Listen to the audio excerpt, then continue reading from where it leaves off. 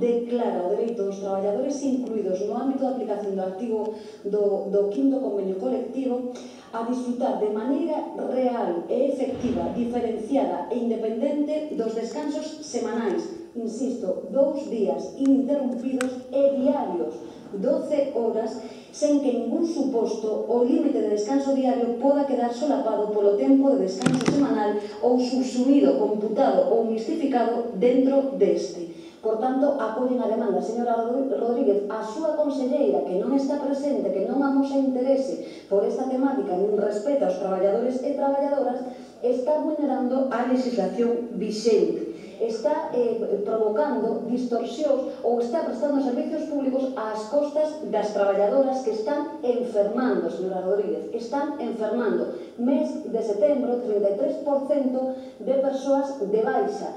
Mulleres e homes que, mm, como sabe vostede, non poden enfermar por prestar un servicio público.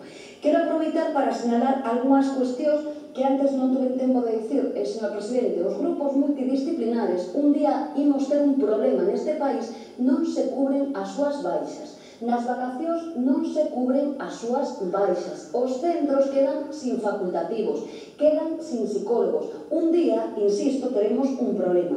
Nos gustaría tamén denunciar as carencias dos centros, insisto particularmente o caso de Oleiros, Cousas tan elementais como, por exemplo, señor presidente, que non sabemos, eh, señora Rodríguez, non se preocupe que xa temos registradas interpelacións para sustancialas, pois non sabemos por que razón no centro de Oleiros, no servizo de lavandería, se lava tamén a roupa da casa do mar. Non sabemos por que se vulnera a legislación vixente, señor presidente, vostede é de profesional, un profesional da medicina, e, dende logo, as traballadoras manipulan esa roupa sin saber se alguna ven de persoas que teñen eh, algún tipo de enfermedade mm, eh, que pode contaxalas temos carencias ou problemas severos de bañeras hidráulicas, insisto, camas que non son eléctricas, en definitiva, un servicio que, dende logo, adolece do que son unhas condicións mínimas de dignidade.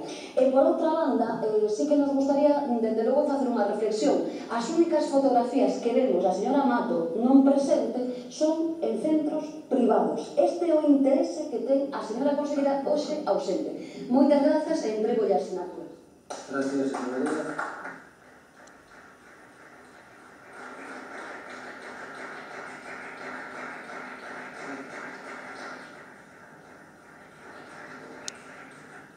Притаманного